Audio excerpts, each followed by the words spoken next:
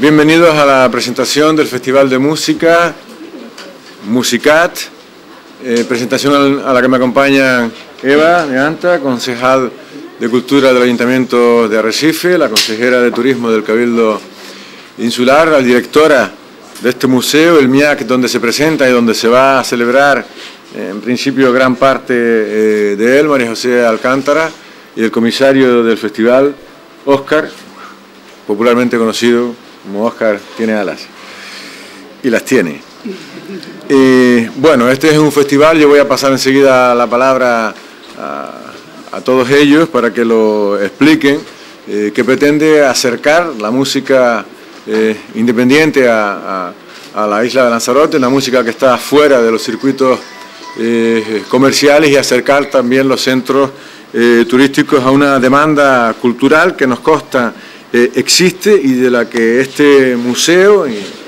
los centros turísticos quieren convertirse en una referencia. Es un proyecto, como digo, complementario, popular, no exento de calidad y que en principio se prevé tenga una duración de tres meses, prorrogables a otros tres, estoy convencido de que así será, en definitiva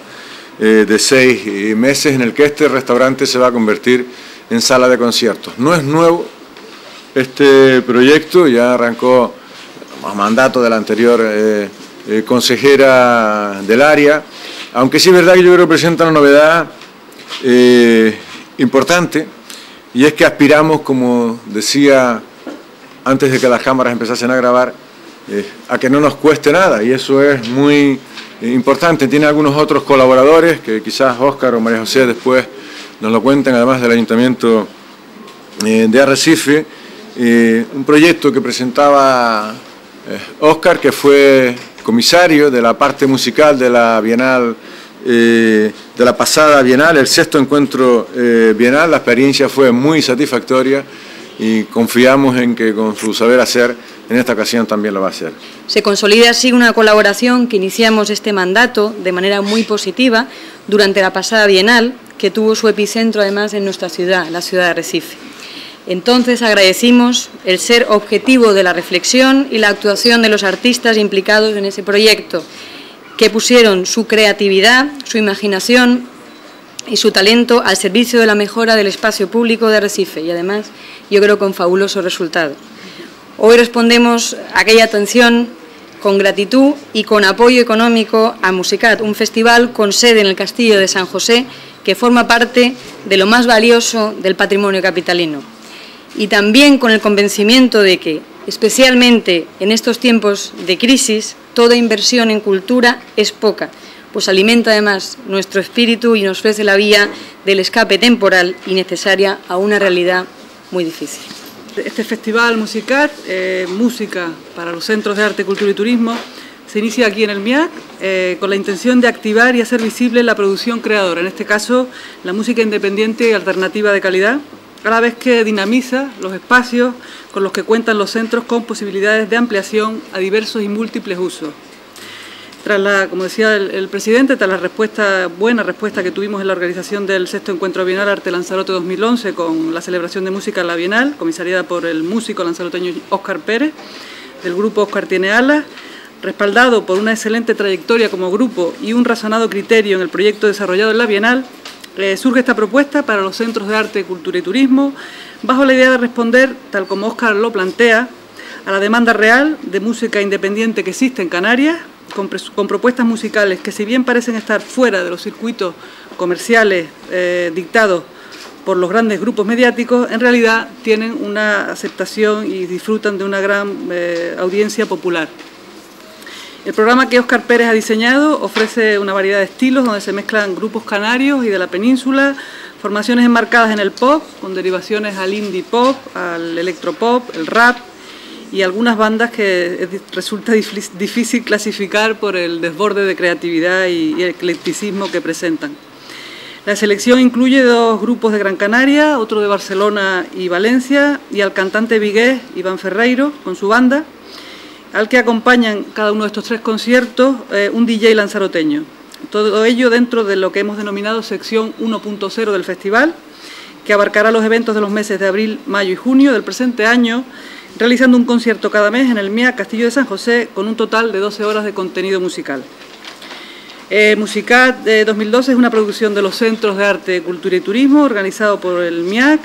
con la colaboración de la Consejería de Cultura del Ayuntamiento de Arrecife, el Gobierno de Canarias a través del programa Canarias Crea Canarias y las empresas Mondo Sonoro, Globalo y Grupo Creativo Ferber, a quien queremos dar las gracias. Habrá una segunda sección del festival que será presentada más adelante, como decía el presidente, ya veremos el resultado de esta primera sección.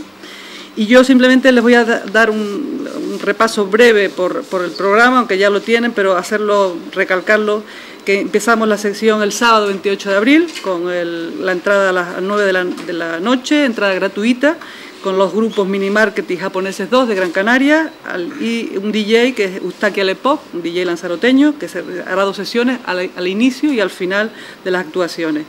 El siguiente es el sábado 12 de mayo, igualmente a las 9 de la noche empieza, la entrada cuesta 20 euros y es la banda de Iván Ferreiro, el grupo Iván Ferreiro, el grupo de Vigo y el DJ lanzaroteño será C Pequeño